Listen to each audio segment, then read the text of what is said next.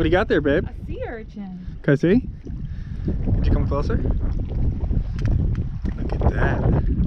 They're all over the place. They're there. moving.